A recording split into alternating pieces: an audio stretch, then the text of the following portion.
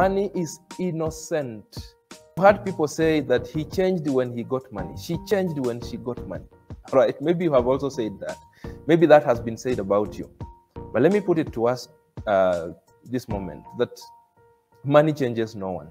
Money is not a changing agent. Money is a revealing agent. Money helps the world to know you better.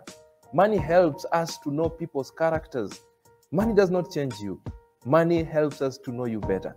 You see, there are people who seem to be very well collected, very well nurtured, very polite, you know, very down to earth, very humble. Again, I caution you do not confuse poverty for humility. Right? There are very many people who seem very humble, very well collected, very down to earth.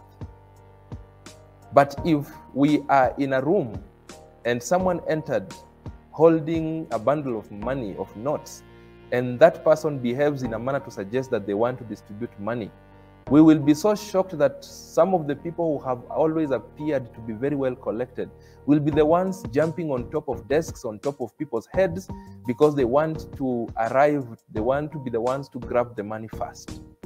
And the rest of us will be wondering, I, I, I thought this guy was was well cultured. I thought this guy has always been humble. I thought this guy has always been uh, well collected, well, you know, nurtured and down to earth. It is not money that has changed this guy.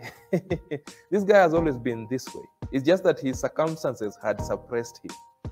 Right? I don't know if you have ever witnessed these situations where someone, because of money, they begin to behave uh, in a very weird manner. Okay, it's not money changing them. Money is helping us to know them for who they are. But what I'm reminding you here is because I want you to make money and make it in plenty in future, is that when money comes, please do not use it to excuse your bad behavior. Do not allow it, you know, to tamper with your character. Stay put. It is possible to have money and have it in plenty and retain your good character.